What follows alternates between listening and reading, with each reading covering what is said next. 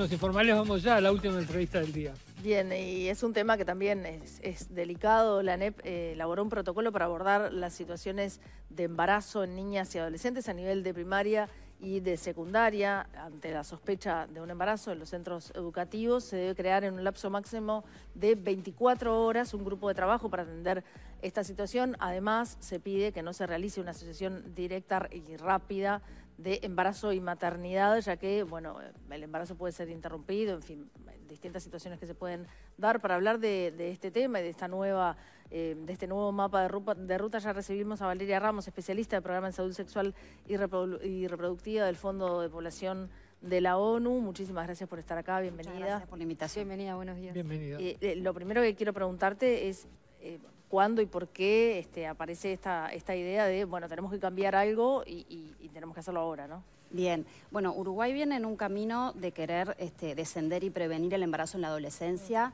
de hace varios años, que uno lo puede ubicar desde el año 2016, que se lanza una estrategia intersectorial de prevención del embarazo en la adolescencia.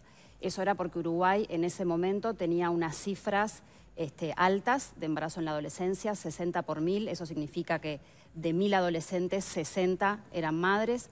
Para tener una idea con respecto a, lo que son otras regiones del mundo, ese promedio en Latinoamérica está en 67, en África está en 80, en los países desarrollados está en 10 y en los más desarrollados en 5, 3, 2.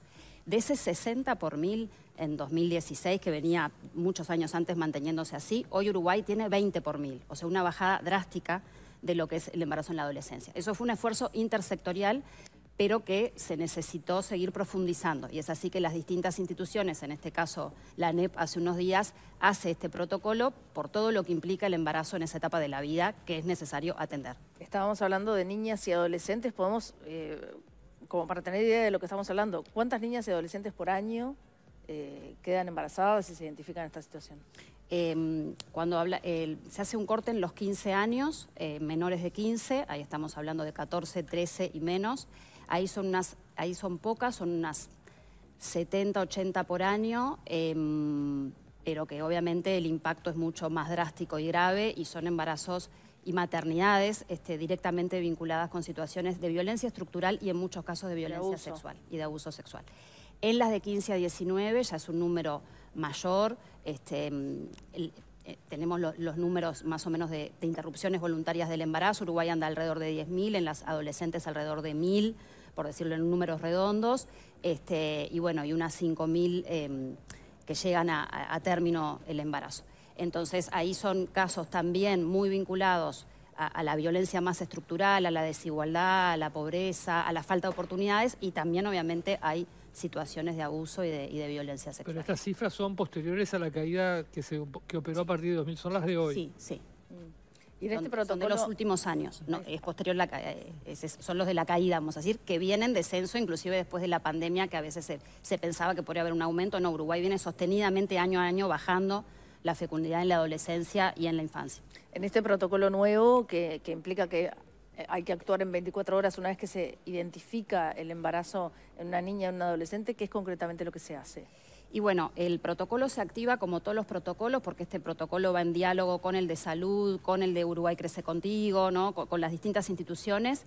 Se activa ante la sospecha. La sospecha ya de por sí es un indicador de vulnerabilidad. Por más que después se descarte el embarazo, y muchas veces se descarte el embarazo, pero se confirma el abuso. Entonces se activa en la sospecha o se activa en la certeza de una niña o un adolescente que en el centro educativo plantea estar embarazada. Y allí lo, que se tiene que hacer es que obviamente esa persona, que en general es el docente o el ascripto o la ascripta de la persona de confianza, necesita armar equipo, que es lo que dice ese mapa, porque se necesita un pienso colectivo, porque son como situaciones muy complejas que implica el vínculo con la familia, hablar con la familia, a veces la familia saben, a veces no. Si son producto de violencia sexual, sabemos que en Uruguay la mayoría de los agresores están en la familia, entonces son situaciones muy complejas que es importante que el docente o, la persona a quien se le revela la situación no actúe solo, sino que se conforme un equipo en 24 horas. No, no todos van a estar hablando con la niña, obviamente, ni con la familia, pero para poder pensar la estrategia y articular con las otras instituciones por las cuales las niñas transitan, ¿no? La salud, el centro juvenil, la plaza de técnicos o qué disciplinas participan de ese grupo? En el caso de primaria eh, es, es la dirección, la inspección, el programa de escuelas disfrutables, eh, que ahí hay equipos multidisciplinarios y maestro comunitario articulador. En el caso de media, además del docente, la inspección, la, la, mm, dirección, está la Comisión de Educación Sexual, la unidad este, en, la, en UTU de apoyo multidisciplinario y, bueno, y la dirección integral del estudiante, allá hay psicólogos, trabajadores sociales, bueno, y obviamente los docentes y las docentes, el equipo de la educación. ¿Qué pasa con las denuncias, no? Porque si, vos estás ante una sospecha de abuso sexual o violación, en fin, ¿cómo actúa este, este grupo? Bueno, ahí es el caso a caso y ANEP en este caso tiene mapas de ruta para atender las situaciones de violencia. Entonces este mapa lo que dice es que en el caso de que ese embarazo sea producto de una situación de violencia, ANEP tiene que poner, actuar su mapa de ruta que tiene las indicaciones y que obviamente ahí entra la justicia para, y bueno, y todo lo que implica la denuncia, pero obviamente eso es con un referente adulto protector, podrá ser la madre, podrá ser el padre, podrá ser una tía, este, de la familia que pueda trabajar con el sistema educativo y bueno, y en el, porque las denuncias también hay, que trabajarlas, acompañarlas, porque es un proceso que no es tan fácil eh, desarrollar. Si, hay un adulto protector, ¿no? Porque como vos decías, muchas veces todo esto se da dentro de las propias familias. Sí, a veces no hay y, son, y ahí, bueno, hay que buscar el adulto protector en la institucionalidad, a veces en el INAU o en, la institución que sea, este, pero muchas veces hay, una abuela, hay una tía, hay una madre que no sabía, hay, alguien que está este, dispuesto a, proteger y, a poder. Y eso también se habla con la niña y la adolescente, a quién identifica como esa persona de confianza y de protección que la puede acompañar en este proceso, en el caso que sea una situación de violencia, y cuando no es una situación de violencia también, porque bueno, obviamente que tanto interrumpir un embarazo como continuarlo, tener un hijo y demás, necesitas un mundo adulto que te acompañe, porque son situaciones muy complicadas después de sostener para que todo eso no redunde en mayor desigualdad, desvínculo educativo em, y problemas, para que pueda tener un, desarrollo sano este, y, bueno, y lo mejor posible, eh, sea lo que vaya a ser, sea interrumpir o sea continuar. Mm. ¿Qué pasa con la prevención? Porque acá estamos hablando de situaciones de, de hecho, que ya, pasaron. ya, pasaron. ¿Qué pasa antes? Bueno, en eh, la prevención sabemos que la educación sexual, tanto dentro de las escuelas como fuera de las escuelas, es, una, una intervención clave. O sea, poder hablar desde muy chiquitos con los niños, con las niñas, de su cuerpo, de, las partes íntimas, de la afectividad, de lo que los hace sentir bien, de lo que los hace sentir mal, de cuando hay algo que no te gusta, poder confiar en alguien y contárselo.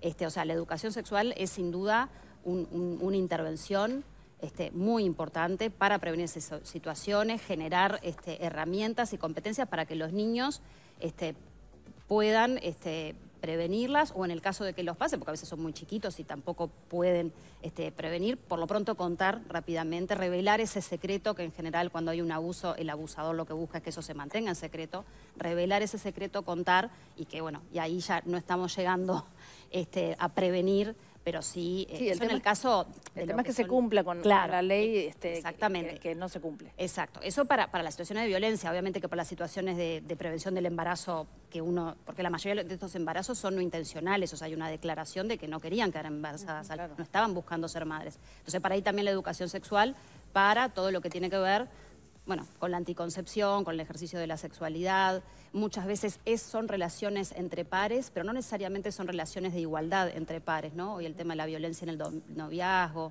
la presión para tener una relación, la prueba de amor. Bueno, son muchas cosas que lo importante es un mundo adulto que esté activo, educando para la prevención. Valeria Ramos, te agradecemos mucho. Bueno, por muy amable. Muchas gracias por venir. Gracias.